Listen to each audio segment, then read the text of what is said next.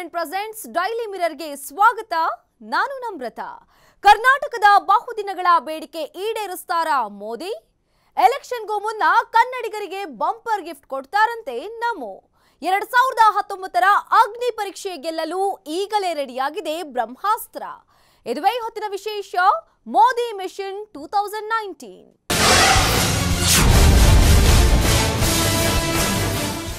ಪ್ರಧಾನಿ ಮೋದಿ ಮತ್ತೆ ರಥಯಾತ್ರೆ ಆರಂಭಿಸಿದ್ದಾರೆ. ಮೋದಿ ಕಣ್ಣು ಎರಡ್ ಸಾವಿರದ ಹತ್ತೊಂಬತ್ತರ ಲೋಕಸಭೆ ಚುನಾವಣೆ ಮೇಲೆ ಬಿದ್ದಿದ್ದು ರಣಕಹಳೆ ಮೊಳಗಿಸಿದ್ದಾರೆ. ಎಲೆಕ್ಷನ್ ಹಾದಿಯಲ್ಲಿ ಮೋದಿಗೆ ಈ ವರ್ಷವೇ ನಿರ್ಣಾಯಕ ಸಾಕಷ್ಟು ಅಗ್ನಿ ಪರೀಕ್ಷೆಗಳನ್ನ ಪ್ರಧಾನಿ ಮೋದಿ ಎದುರಿಸಬೇಕಿದೆ. ಹಾಗಾದ್ರೆ ಅಗ್ನಿ ಪರೀಕ್ಷೆಯಲ್ಲಿ ಗೆಲ್ಲಲು ನಮೋ ಬತ್ತಳಿಕೆಯಲ್ಲಿ ಎಂಥ ಅಸ್ತ್ರಗಳಿವೆ ಗೊತ್ತಾ? ಎಲ್ಲಿದೆ ನೋಡಿ Modi mission two thousand nineteen complete ಕಹಾನಿ.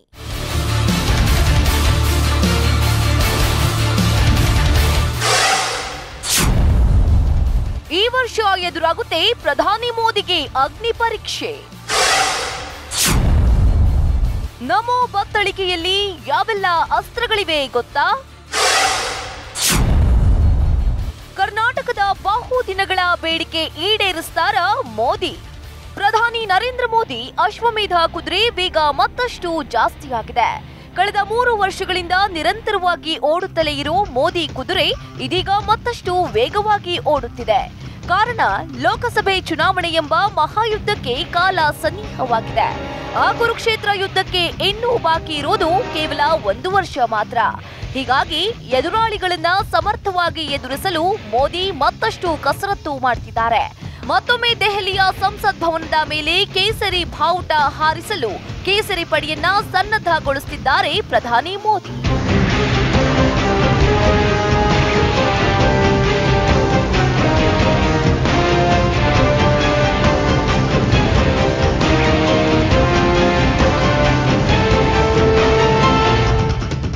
ಹೌದು, ಕೇಸರಿ ಪಡೆಯ ಸೇನಾ ನಾಯಕ ನರೇಂದ್ರ ಮೋದಿ ಹವಾದ ಮುಂದೆ ಎದುರಾಳಿಗಳು ಈಗಾಗಲೇ ಪತನಗುಟ್ಟಿ ಹೋಗಿದ್ದಾರೆ.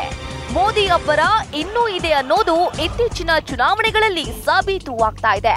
ಎರಡ್ ಸಾವಿರದ ಹದಿನಾಲ್ಕರಿಂದ ಮೋದಿ ಅನ್ನೋ ಅಸ್ತ್ರ ಬಿಜೆಪಿಗೆ ಸಿಕ್ಕಿದೆ ತಡ. ಭಾರತದಲ್ಲಿ ಕಮಲ ಪಳಪಳ ಅಂತ ಹೊಳಿತಾ ಇದೆ. ಎಲ್ಲೆಡೆ ಕೇಸರಿ ಸಾಮ್ರಾಜ್ಯ ವಿಸ್ತರಿಸ್ತಾ ಇದ್ದು, ಭಾರತದ ಹತ್ತೊಂಬತ್ತು ರಾಜ್ಯಗಳಲ್ಲಿ ಕಮಲ ಅರಳಿ ನಿಂತಿದೆ. ಇದೆಲ್ಲ ಪ್ರಧಾನಿ ಮೋದಿಯನ್ನು ಮಹಾನ್ ಸೇನಾ ನಾಯಕನಿಂದಲೇ ಸಾಧ್ಯವಾಗಿದ್ದು ಅನ್ನೋದು ಎಲ್ಲರಿಗೂ ಗೊತ್ತಿರೋ ವಿಚಾರ. ಇದೀಗ ಮೋದಿ ಕಣ್ಣು ಮುಂದಿನ ಮಹಾಯುದ್ಧದ ಮೇಲೆ ಬಿದ್ದಿದೆ. ಕೇಂದ್ರದಲ್ಲಿ ಮತ್ತೊಂದು ಅವಧಿಗೆ ಬಿಜೆಪಿಯನ್ನೇ ಅಧಿಕಾರಕ್ಕೆ ತರಲು ಮೋದಿ ಅಂಡ್ ಟೀಮ್ ಮತ್ತೆ ಫೀಲ್ಡ್ಗಿಳಿದಿದೆ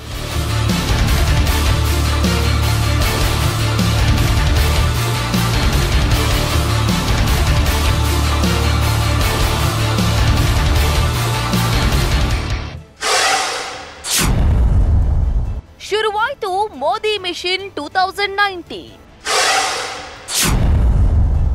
Modi ಎಂಥ ಅಸ್ತ್ರ ಪ್ರಯೋಗಿಸ್ತಾರೆ ಗೊತ್ತಾ? ಎರಡ್ ಸಾವಿರದ ಹದಿನಾಲ್ಕರ ಲೋಕಸಭೆ ಚುನಾವಣೆ ನಂತರ ದೇಶದಲ್ಲಿ ಸಾಕಷ್ಟು ಬದಲಾವಣೆಗಳಾಗಿವೆ. ಹತ್ತೊಂಬತ್ತು ರಾಜ್ಯಗಳಲ್ಲಿ ಬಿಜೆಪಿ ಆಡಳಿತವಿದೆ. ನಿರಂತರ ಚುನಾವಣೆ ಬರ್ತಾ ಇದ್ದು, ಅದರಲ್ಲಿ ಕಾಂಗ್ರೆಸ್ಗೆ ನಿರಂತರವಾಗಿ ಸೋಲಾಗ್ತಿದೆ. ಬಿಜೆಪಿ ಗೆಲುವು ಕಾಂಗ್ರೆಸ್ ನಾಯಕರ ಭಯಕ್ಕೆ ಕಾರಣವಾಗಿದೆ. ಗುಜರಾತ್ ಚುನಾವಣೆ ಮೇಲೆ ಕಣ್ಣಿಟ್ಟಿದ್ದ ಕಾಂಗ್ರೆಸ್ ಅಧ್ಯಕ್ಷ ರಾಹುಲ್ ಗಾಂಧಿ ಸಾಕಷ್ಟು ಪ್ರಯತ್ನ ಪಟ್ಟದ್ರು. ಆದರೆ ಬಿಜೆಪಿ ಅಧ್ಯಕ್ಷ ಅಮಿತ್ ಶಾ ಹಾಗೂ ಪಿಎಂ ನರೇಂದ್ರ ಮೋದಿ ಗುಜರಾತ್ನಲ್ಲಿಯೂ ಕಾಂಗ್ರೆಸ್ಗೆ ಸೋಲಿನ ಪಾಠ ಹೇಳಿದ್ರು. ಈಗ ಮೋದಿ ಮಿಷಿನ್ ಎರಡ್ ಸಾವಿರದ ಹತ್ತೊಂಬತ್ತು ಶುರುವಾಗಿದೆ. ಈಗಾಗಲೇ ಮೋದಿ ಮತ್ತು ತಂಡ ಇದರ ಮೇಲೆ ಕೆಲಸ ಶುರು ಮಾಡಿದೆ.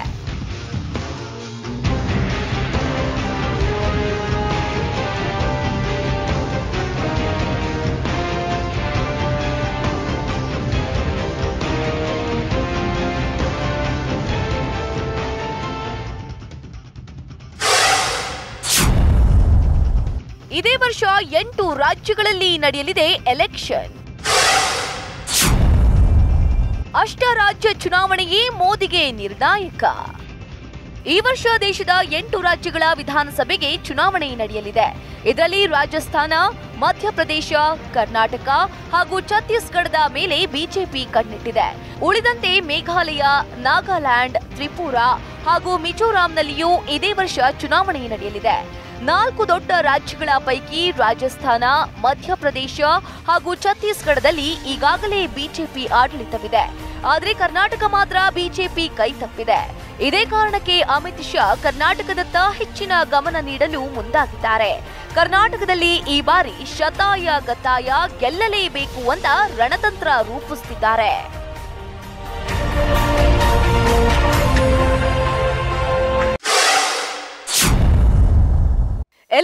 ಮುನ್ನ ಕನ್ನಡಿಗರಿಗೆ ಬಂಪರ್ ಗಿಫ್ಟ್. ಎರಡ್ ಸಾವಿರದ ಹತ್ತೊಂಬತ್ತರ ಅಗ್ನಿ ಪರೀಕ್ಷೆ ಗೆಲ್ಲಲು ರೆಡಿಯಾಗಿದೆ ಬ್ರಹ್ಮಾಸ್ತ್ರ. ಎಸ್ ದಕ್ಷಿಣ ಭಾರತದಲ್ಲಿ ಅತಿ ಹೆಚ್ಚು ಬಿಜೆಪಿ ಬೆಂಬಲಿಗರನ್ನ ಹೊಂದಿರುವ ರಾಜ್ಯ ಕರ್ನಾಟಕ.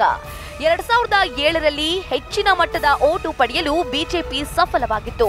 ನಂತರ ಎರಡ್ ಸಾವಿರದ ಎಂಟರಿಂದ ಎರಡ್ ಸಾವಿರದ ಹದಿಮೂರರವರೆಗೆ ಬಿಜೆಪಿ ಆಡಳಿತ ನಡೆಸಿತ್ತು. ಆದ್ರೆ ಇಬ್ಬರು ಸಿಎಂಗಳು ಬದಲಾದ್ರು.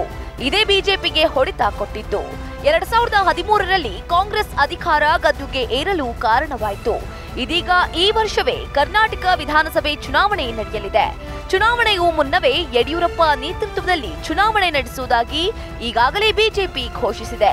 ನರೇಂದ್ರ ಮೋದಿ ಕೂಡ ಕರ್ನಾಟಕದ ಅಭಿವೃದ್ಧಿ ಯೋಜನೆಗಳತ್ತ ಚಿತ್ತ ಹರಿಸಿದ್ದಾರೆ. ಕರ್ನಾಟಕದಲ್ಲಿ ಮೋದಿ ಮೋಡಿ ಮಾಡಲು ರಣತಂತ್ರ ರೂಪಿಸುತ್ತಿದ್ದಾರೆ.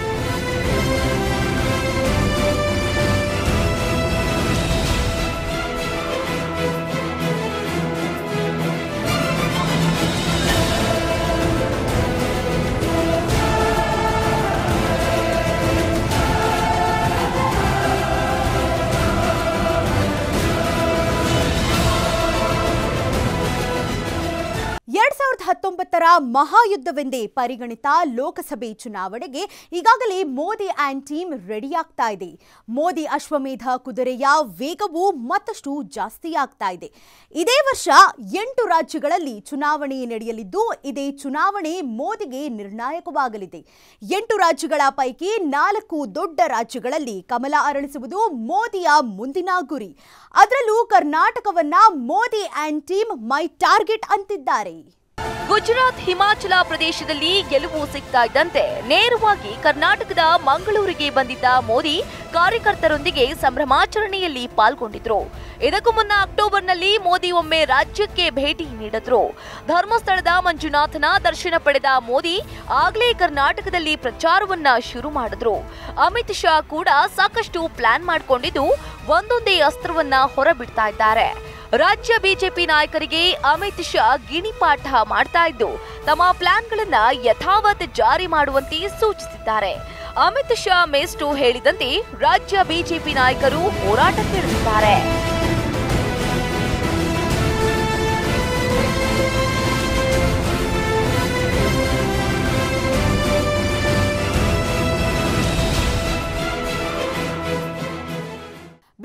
ಚಾಣಕ್ಯ ಅಮಿತ್ ಶಾ ಸೂಚನೆಯಂತೆ ಇತ್ತ ನಮ್ಮ ಕರ್ನಾಟಕದ ಬಿಜೆಪಿ ನಾಯಕರು ಫೀಲ್ಡ್ಗಿಳಿದಿದ್ದಾರೆ ಇದರ ಮಧ್ಯೆ ಪ್ರಧಾನಿ ಮೋದಿ ಕೂಡ ತಮ್ಮ ಅಸ್ತ್ರಗಳನ್ನ ಪ್ರಯೋಗಿಸಲು ಸಜ್ಜಾಗಿದ್ದಾರೆ.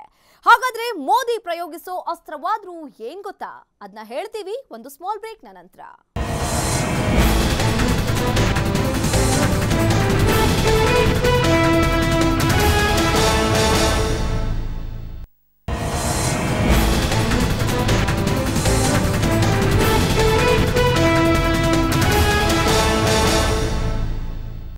ಮುಂದಿನ ಲೋಕಸಭೆ ಚುನಾವಣೆಗೆ ಮೋದಿ ಆ್ಯಂಡ್ ಟೀಮ್ ಈಗಾಗಲೇ ರಣಕಹಳೆ ಮೊಳಗಿಸಿದೆ.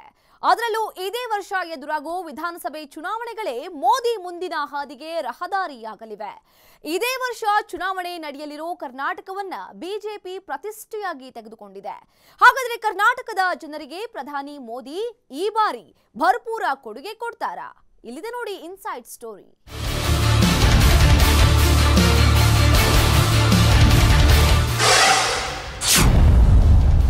ರೆಡಿಯಾಗಿದೆ Modi mission Karnataka two thousand eighteen ಕನ್ನಡಿಗರಿಗೆ ಕೊಡ್ತಾರ ಪ್ರಧಾನಿ ಮೋದಿ ಭರ್ಜರಿ ಗಿಫ್ಟ್. ರಾಜ್ಯದಲ್ಲಿ ಆಗುತ್ತಾ ಮೋದಿ ಅಮಿತ್ ಶಾ ಮೋಡಿ. ಪ್ರಧಾನಿ ಮೋದಿ ಮತ್ತೆ ಅಸ್ತ್ರಗಳನ್ನ ಬೆನ್ನಿಗೇರಿಸಿಕೊಂಡಿದ್ದಾರೆ. ಮುಂದಿನ ವರ್ಷ ಭಾರತದ ಮಹಾಯುದ್ಧ ನಡೆಯಲಿದ್ದು, ಯುದ್ಧಕ್ಕೆ ಶಸ್ತ್ರಾಭ್ಯಾಸ ಶುರು ಮಾಡಿದ್ದಾರೆ. ಬಿಜೆಪಿಯ ಮಹಾನ್ ಸೇನಾ ನಾಯಕ ಅಂತಾನೇ ಖ್ಯಾತಿಯಾದ ನರೇಂದ್ರ ಮೋದಿ ತಮ್ಮ ಪಡೆಯ ಸೈನಿಕರನ್ನ ಯುದ್ಧಕ್ಕೆ ಸಜ್ಜುಗೊಳಿಸ್ತಾ ಇದ್ದಾರೆ. ಈಗಾಗಲೇ ಮೋದಿಯ ಅಶ್ವಮೇಧ ಕುದುರೆ ಓಡುತ್ತಲೇ ಇದ್ದು, ಆ ಕುದುರೆ ಕಾಲಿಟ್ಟ ಎಲ್ಲೆಡೆ ಕೇಸರಿ ಸಾಮ್ರಾಜ್ಯ ವಿಸ್ತರಣೆಯಾಗ್ತಾ ಇದೆ.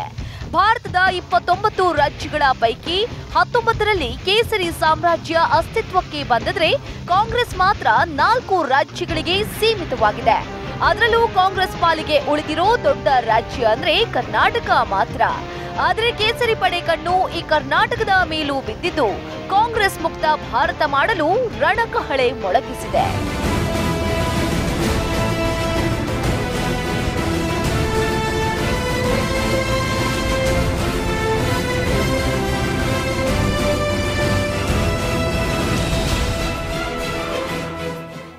ಕರ್ನಾಟಕದಲ್ಲಿ ಇದೇ ವರ್ಷ ಚುನಾವಣೆ ನಡೆಯಲಿದೆ. ಅಂದ್ರೆ ಎಲೆಕ್ಷನ್ಗೆ ಕೇವಲ ನಾಲ್ಕು ತಿಂಗಳು ಬಾಕಿ ಇದೆ ಅಷ್ಟೇ. ಈಗಾಗಲೇ ರಾಜ್ಯದಲ್ಲಿ ಎಲೆಕ್ಷನ್ ಜ್ವರ ಕಾವೇರಿದೆ. ಚಳಿಯಲ್ಲೂ ನಾಯಕರ ವಾಕ್ಸಮರ ತಾರಕಕ್ಕೇರಿದೆ. ಕಾಂಗ್ರೆಸ್, ಬಿಜೆಪಿ ಮತ್ತು ಜೆಡಿಎಸ್ ನಾಯಕರು ಒಬ್ಬರ ಮೇಲೊಬ್ರು ಕೆಸರೆರಚಿಕೊಳ್ತಿದ್ದಾರೆ ಸಿಎಂ ಸಿದ್ದರಾಮಯ್ಯ ನೇತೃತ್ವದಲ್ಲಿ ಕಾಂಗ್ರೆಸ್ ನಾಯಕರು ಭರ್ಜರಿ ಪ್ರಚಾರ ಮಾಡ್ತಿದ್ರೆ ಯಡಿಯೂರಪ್ಪ ನಾಯಕತ್ವದಲ್ಲಿ ಕಮಲ ನಾಯಕರು ಸರ್ಕಾರದ ವಿರುದ್ಧ ಬೀದಿಗಿಳಿದಿದ್ದಾರೆ. ಇವರಿಬ್ಬರ ಜಗಳದಲ್ಲಿ ಲಾಭ ಮಾಡಿಕೊಳ್ಳಲು ಜೆಡಿಎಸ್ ನಾಯಕರು ದಾಳ ಉರುಳಿಸುತ್ತಿದ್ದಾರೆ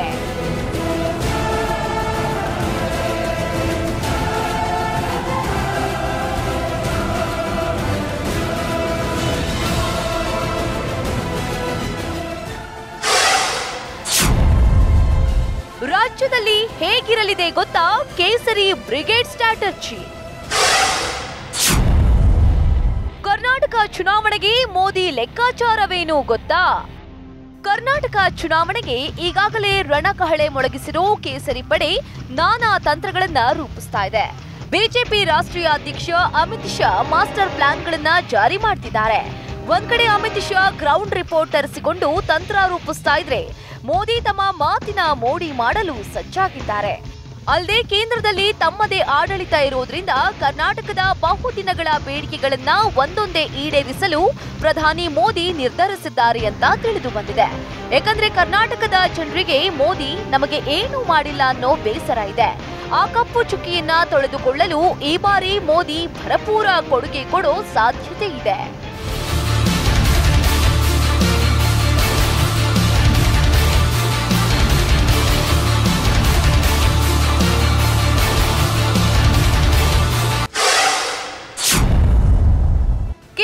ಬಜೆಟ್ನಲ್ಲಿ ಸಿಗುತ್ತಾ ಕರ್ನಾಟಕಕ್ಕೆ ಭರಪೂರ ಗಿಫ್ಟ್? ಕನ್ನಡಿಗರ ಬಹುದಿನಗಳ ಬೇಡಿಕೆ ಈಡೇರಿಸ್ತಾರ ಮೋದಿ? ಕರ್ನಾಟಕದ ಚುನಾವಣೆ ಮೇಲೆ ಕಣ್ಣಿಟ್ಟಿರೋ ಪ್ರಧಾನಿ ಮೋದಿ ಕರ್ನಾಟಕಕ್ಕೆ ಭರಪೂರ ಕೊಡುಗೆ ಕೊಡೋದು ಪಕ್ಕಾ ಆಗಿದೆ. ಕರ್ನಾಟಕ ವಿಧಾನಸಭೆ ಚುನಾವಣೆ ಮೇ ತಿಂಗಳಲ್ಲಿ ನಡೆಯೋ ಸಾಧ್ಯತೆ ಇದೆ. ಚುನಾವಣೆಗೂ ಮುನ್ನವೇ ಮಂಡನೆಯಾಗಲಿರೋ ಕೇಂದ್ರ ಬಜೆಟ್ನಲ್ಲಿ ಕರ್ನಾಟಕಕ್ಕೆ ಭರ್ಜರಿ ಕೊಡುಗೆ ಕೊಡೋ ಸಾಧ್ಯತೆ ಇದೆ. ಸಾಕಷ್ಟು ಯೋಜನೆಗಳು ಕರ್ನಾಟಕದತ್ತ ಹರಿದು ಬರುವುದು ಖಚಿತ ಎನ್ನಲಾಗಿದೆ. ಕರ್ನಾಟಕಕ್ಕೆ ಬಜೆಟ್ನಲ್ಲಿ ಹೆಚ್ಚು ಅನುದಾನ ಕೂಡ ಸಿಗೋ ಚಾನ್ಸ್ ಇದೆ. ಈ ಮೂಲಕ ರಾಜ್ಯದ ಜನರ ಮನಸ್ಸು ಗೆಲ್ಲಲು ಮೋದಿ ಪ್ಲಾನ್ ಮಾಡಿಕೊಂಡಿದ್ದಾರೆ.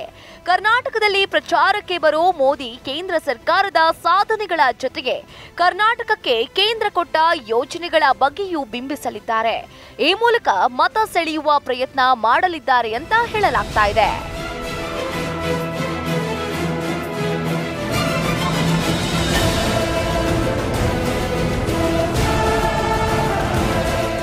ಕರ್ನಾಟಕದ ವಿಧಾನಸಭೆ ಚುನಾವಣೆ ಕೇಸರಿ ಪಡೆ ಪಾಲಿಗೆ ನಿರ್ಣಾಯಕ. ಯಾಕಂದ್ರೆ ದಕ್ಷಿಣ ಭಾರತದಲ್ಲಿ ಕಮಲ ಮೊಟ್ಟ ಮೊದಲಿಗೆ ಅರಳಿದ್ದು ಅಂದ್ರೆ ನಮ್ಮ ಕರ್ನಾಟಕದಲ್ಲೇನೆ.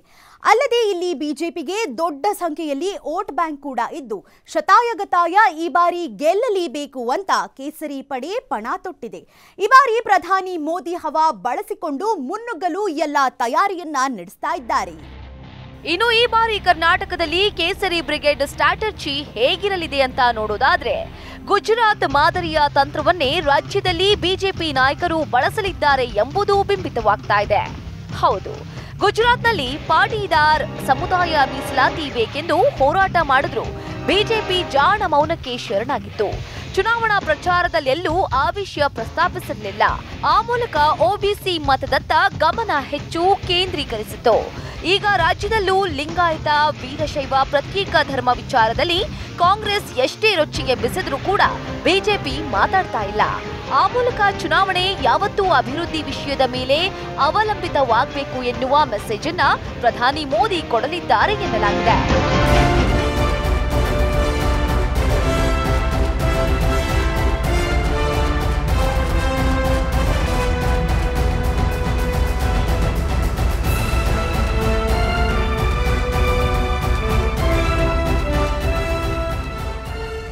ಅಷ್ಟು ಮಾತ್ರವಲ್ಲ ಬಿಜೆಪಿಗೆ ಕೈ ವಿರುದ್ಧ ಹೋರಾಡಲು ಅಥವಾ ಅವರ ಬಾಯಿ ಮುಚ್ಚಿಸಲು ಇನ್ನೂ ಪ್ರಮುಖ ವಿಚಾರಗಳಿವೆ. ಮಹದಾಯಿ ನದಿ ನೀರಿನ ವಿಷಯ ಚುನಾವಣೆ ಪೂರ್ವದಲ್ಲಿ ಗೋವಾ ಜೊತೆ ಮಾತುಕತೆ ಮಾಡಿ ಸಮಸ್ಯೆ ಬಗೆಹರಿಸಬಹುದು.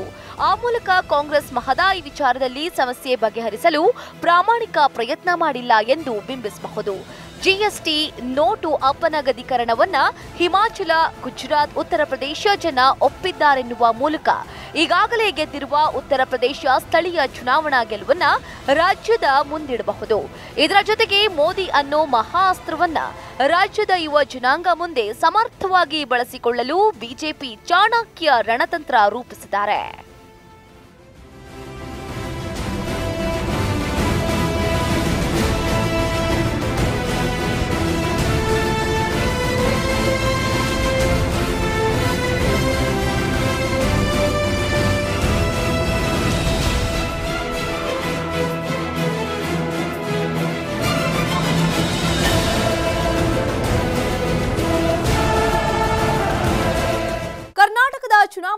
ಕಣ್ಣಿಟ್ಟಿರೋ ಪ್ರಧಾನಿ ಮೋದಿ ಮತ್ತೊಂದು ಪ್ರಬಲ ಅಸ್ತ್ರ ಪ್ರಯೋಗಿಸಲು ಮುಂದಾಗಿದ್ದಾರೆ. ಅದೇನು ಅಂತ ಹೇಳ್ತೀವಿ ಮತ್ತೊಂದು ಸ್ಮಾಲ್ ಬ್ರೇಕ್ನ ನಂತರ.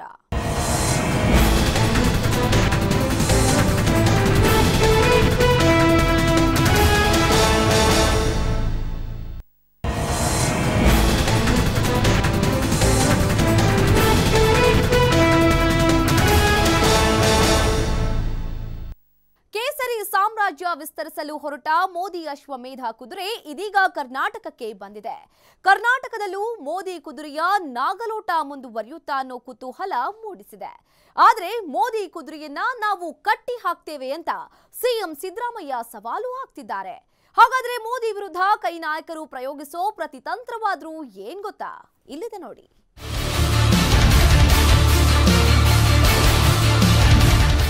ಕಾಂಗ್ರೆಸ್ ಮುಕ್ತ ಭಾರತ ಮಾಡೋ, ಪಣ ತೊಟ್ಟಿರೋ ಮೋದಿ ಅಂಡ್ ಟೀಮ್ ಇದೀಗ ಕರ್ನಾಟಕವನ್ನ ಟಾರ್ಗೆಟ್ ಮಾಡಿದೆ. ಕರ್ನಾಟಕದಲ್ಲೂ ಕೇಸರಿ ಬಾವುಟ ಹಾರಿಸಲು ಕೇಸರಿ ಪಡೆ ಇನ್ನಿಲ್ಲದ ಕಸರತ್ತು ಮಾಡ್ತಿದೆ. ಈಗಾಗಲೇ ಉತ್ತರದಲ್ಲಿ ಅಬ್ಬರಿಸ್ತಾ ಇರೋ ಮೋದಿ ಇದೀಗ ದಕ್ಷಿಣದಲ್ಲಿ ಹೇಗೆ ಆರ್ಭಟಿಸುತ್ತಾರೆ ಅನ್ನೋ ಕುತೂಹಲ ಮೂಡಿಸಿದೆ. ಅಲ್ಲದೆ ಕರ್ನಾಟಕದ ಮತದಾರರನ್ನ ಸೆಳೆಯಲು ಮೋದಿ ಪ್ರಯೋಗಿಸೋ ಅಸ್ತ್ರವಾದ್ರೂ ಏನು ಅನ್ನೋ ಪ್ರಶ್ನೆಯೂ ತಲೆ ಎತ್ತಿದೆ ಅಂದ್ರೆ ಇಷ್ಟು ದಿನ ಕರ್ನಾಟಕಕ್ಕೆ ಯಾವುದೇ ಕೊಡುಗೆ ಕೊಡದ ಮೋದಿ ಇನ್ಮುಂದೆ ಎಲೆಕ್ಷನ್ಗಾಗಿಯೇ ಹಲವು ಯೋಜನೆಗಳನ್ನ ಘೋಷಿಸಲು ಮುಂದಾಗಿದ್ದಾರೆ.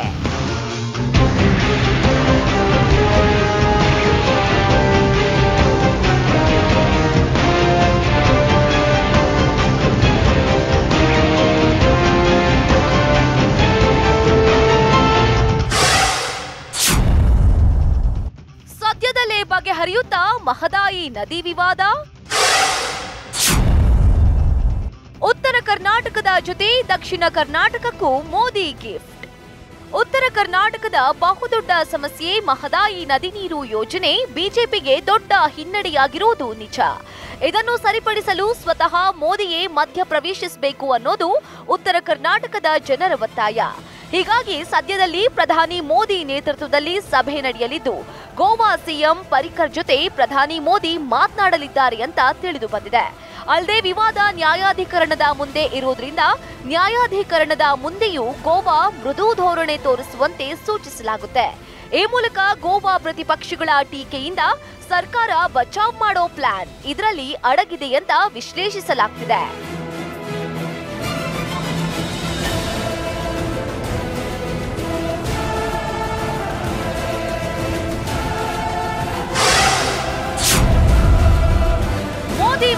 ಕರ್ನಾಟಕದಲ್ಲಿ ನಡೆಯಲು ಬಿಡಲ್ವಾ ಸಿಎಂ ಸಿದ್ದು. ಕೈ ಸಾರಥಿ ರಾಹುಲ್ ಗಾಂಧಿಗೆ ಸಿದ್ದು ಕೊಡ್ತಾ ಇರೋ ಬ್ರಹ್ಮಾಸ್ತ್ರ ಏನು ಗೊತ್ತಾ? ಆ ಅಸ್ತ್ರ ಪ್ರಯೋಗಿಸಿದ್ರೆ ಮೋದಿ ಆ್ಯಂಡ್ ಟೀಮ್ ಆಟ ನಡೆಯೋದೇ ಇಲ್ವಾ? ಇನ್ನು ಮೋದಿ ಕರ್ನಾಟಕದ ಜನರ ಮನಸ್ಸು ಗೆಲ್ಲಲು ತಂತ್ರ ರೂಪಿಸಿದ್ರೆ ಇತ ಸಿಎಂ ಸಿದ್ದರಾಮಯ್ಯ ತಮ್ಮ ಬತ್ತಳಿಕೆಯಲ್ಲಿರೋ ಅಸ್ತ್ರಗಳನ್ನ ಹೊರಬಿಡುತ್ತಿದ್ದಾರೆ ಎಸ್. ರಾಜ್ಯ ಬಿಜೆಪಿ ನಾಯಕರಿಗಿಂತ ಸಿದ್ದರಾಮಯ್ಯ ಕಣ್ಣಿಟ್ಟಿರೋದು ನೇರವಾಗಿ ಮೋದಿ ಅಂಡ್ ಟೀಮ್ ಮೇಲೆ ಅನ್ನೋದು ಸುಳ್ಳಲ್ಲ. ಯಾಕಂದ್ರೆ ರಾಜ್ಯ ಬಿಜೆಪಿ ನಾಯಕರು ಏನೇ ಮಾಡಬೇಕಾದ್ರೂ ಅಮಿತ್ ಶಾ ಅಣತಿಯಂತೆ ನಡೀತಾರೆ. ಹೀಗಾಗಿ ಅಮಿತ್ ಶಾ ತಂತ್ರಗಳಿಗೆ ಸಿದ್ದರಾಮಯ್ಯ ಇಲ್ಲಿ ಪ್ರತಿತಂತ್ರ ರೂಪಿಸ್ತಾ ಇದ್ದಾರೆ. ಸಿಎಂ ಸಿದ್ದು ಬಿಡ್ತಾ ಒಂದೊಂದು ಅಸ್ತ್ರವೂ ಕೂಡ ಬಿಜೆಪಿ ನಾಯಕರನ್ನ ಮುಟ್ಟಿ ನೋಡಿಕೊಳ್ಳುವಂತೆ ಮಾಡ್ತಾ ಇದೆ. ಉತ್ತರ ಕರ್ನಾಟಕ, ಅದರಲ್ಲೂ ಹುಬ್ಬಳ್ಳಿ, ಧಾರವಾಡ, ಬೆಳಗಾವಿ ಭಾಗದಲ್ಲಿ ಮಹದಾಯಿ ವಿಚಾರ ಕೆದಕುತ್ತಿರುವ ಸಿಎಂ. ಬಿಜಾಪುರ, ಬಾಗಲಕೋಟೆ, ಬೀದರ್ ಭಾಗದಲ್ಲಿ ಲಿಂಗಾಯತ ಅಸ್ತ್ರವನ್ನ ಪ್ರಯೋಗಿಸುತ್ತಿದ್ದಾರೆ ಈ ಎರಡೂ ವಿಚಾರದಲ್ಲಿ ಬಿಜೆಪಿ ಏನು ಮಾಡಲಾಗದೆ ಕೈಕಟ್ಟಿ ಕೂತಿರೋದು ಕಾಂಗ್ರೆಸ್ಗೆ ದೊಡ್ಡ ಲಾಭವಾಗ್ತಾ ಇದೆ.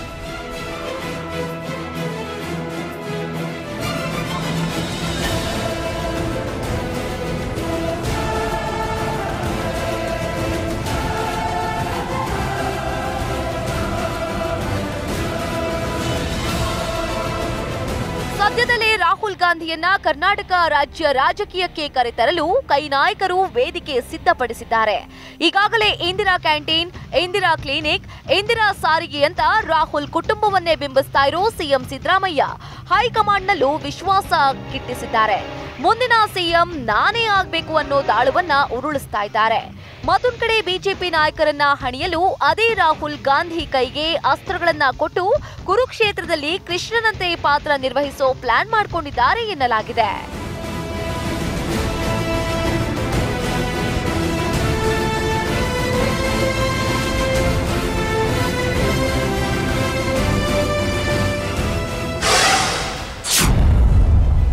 ಹಿಂದುತ್ವ ಹೆಸರಲ್ಲಿ ದಾಳ ಉರುಳಿಸ್ತಾ ಇದ್ದಾರಾ ಕಮಲ ನಾಯಕರು? ಮತಕ್ಕಾಗಿ ಎಲ್ಲೂ ದೇವಾಲಯ ಸುತ್ತಲಿದ್ದಾರೆ ರಾಹುಲ್. ಗುಜರಾತ್ನಲ್ಲಿ ಈ ಬಾರಿ ಕಾಂಗ್ರೆಸ್ ಸಾಂಪ್ರದಾಯಿಕ ಪ್ರಚಾರ ಕೈಬಿಟ್ಟಿತ್ತು. ಪ್ರತಿ ಬಾರಿ ಕಾಂಗ್ರೆಸ್ ನಾಯಕರು ಅಭಿವೃದ್ಧಿ ಮಂತ್ರ ಜಪಿಸ್ತಾ ಇದ್ರು. ಆದ್ರೆ ಈ ಬಾರಿ ರಾಹುಲ್ ಸ್ಟ್ರಾಟಜಿ ಚೇಂಜ್ ಮಾಡಿ ಹಿಂದುತ್ವದ ಟ್ರಂಪ್ ಕಾರ್ಡ್ ಉರುಳಿಸಿದ್ರು. ಸಿಕ್ಕ ಸಿಕ್ಕ ದೇವಾಲಯಗಳಿಗೆ ಹೋಗಿದ್ರು. ನಾನು ಕೂಡ ಹಿಂದೂನಿ ಅಂತ ತೋರಿಸೋ ಪ್ರಯತ್ನ ಮಾಡಿದ್ರು. ಈ ಮೂಲಕ ಹಿಂದೂಗಳ ಮತ ಸೆಳೆಯೋ ಪ್ಲಾನ್ ಮಾಡಿದ್ರು. ಇದು ಕೊಂಚ ಕಾಂಗ್ರೆಸ್ಗೆ ಲಾಭವನ್ನು ತಂದುಕೊಟ್ಟಿದೆ ಅಂತ ವಿಶ್ಲೇಷಿಸಲಾಗ್ತಾ ಇದೆ. ಹೀಗಾಗಿ ಕರ್ನಾಟಕದಲ್ಲೂ ರಾಹುಲ್ ಗಾಂಧಿ ದೇವಾಲಯ ರಾಜಕೀಯ ಮುಂದುವರೆಸಲು ನಿರ್ಧರಿಸಿದ್ದಾರೆ.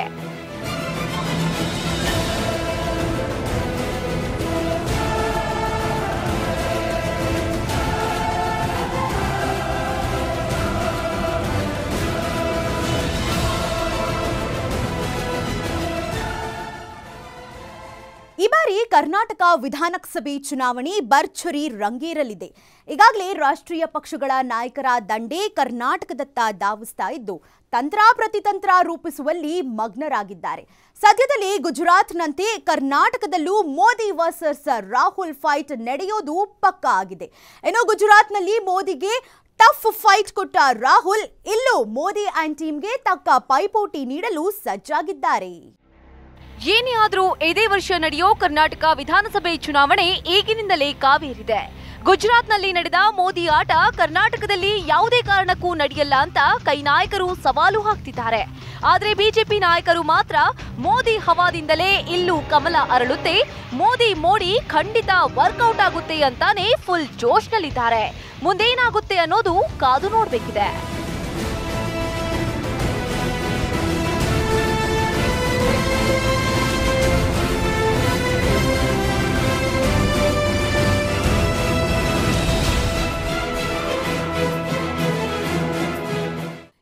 ಸಾವಿರದ ಹತ್ತೊಂಬತ್ತರ ಲೋಕಸಭೆ ಚುನಾವಣೆಗೆ ಈಗಿನಿಂದಲೇ ತಯಾರಿ ನಡೆಸಿರೋ ಪ್ರಧಾನಿ ಮೋದಿ ಅಂಡ್ ಟೀಮ್ ಸಾಕಷ್ಟು ಮಾಸ್ಟರ್ ಪ್ಲಾನ್ ರೂಪಿಸಿದೆ. ಅದರಲ್ಲೂ ಕರ್ನಾಟಕದಲ್ಲಿ ಕಾಂಗ್ರೆಸ್ ಮರವನ್ನ ಕತ್ತರಿಸಿ ಕಮಲ ಅರಳಿಸಬೇಕು ಅನ್ನೋದು ಮೋದಿ ಮೇನ್ ಟಾರ್ಗೆಟ್ ಇದಕ್ಕಾಗಿ ಈ ಬಾರಿ ಕನ್ನಡಿಗರಿಗೆ ಭರ್ಪೂರ ಕೊಡುಗೆಯ ಹೊಳೆ ಹರಿಸೋದಂತೂ ನಿಜ. ಇದುವೇ ಹೊತ್ತಿನ ವಿಶೇಷ, ನಂಬಿಕೆ ಮತ್ತು ವಿಶ್ವಾಸಾರ್ಹ ನ್ಯೂಸ್ಗಾಗಿ ನೋಡ್ತಾ ಇರಿ. ಟಿವಿ ಫೈವ್ ಇದು ವಾಸ್ತವದ ಪ್ರತಿರೂಪ.